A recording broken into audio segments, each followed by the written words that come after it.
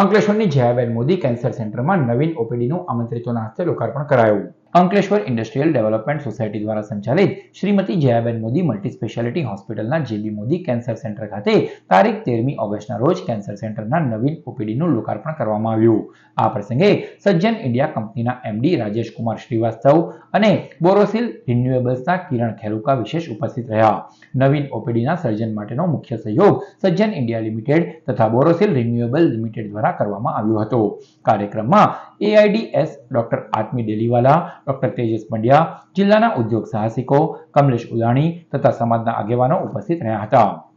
तो मुझे इतनी आशा है कि हमारे इस हंड्रेड किलोमीटर्स के दायरे में अब लोगों को इतना दूर नहीं जाना पड़ेगा और कितनी बढ़िया मशीन्स और इतना साफ सुथरा एनवायरनमेंट लाए हैं इसके लिए मैं अ, जया बहन मोदी के हॉस्पिटल उनके सारे वर्कर्स उनके अ, जो डॉक्टर्स उनके नर्सेज और खास करके अपने कमलेश भाई सबको बहुत बहुत आशीर्वाद देती हूँ, क्योंकि मैं इस उम्र में पहुँची कि मैं आशीर्वाद दे सकती सो फ़र्स्ट ऑफ़ ऑल मैं इस सेंटर में आके बहुत ही खुश हूँ, क्योंकि हमारे सज्जन इंडिया कंपनी में हमारा पर्पज़ है कि सोसाइटी में हेल्थ केयर और एजुकेशन को प्रमोट करना है। एंड हेल्थ केयर के मामले में, इस हॉस्पिटल में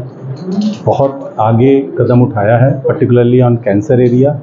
जहाँ की हमारे सज्जन इंडिया कंपनी से lot of support we have provided and we are so happy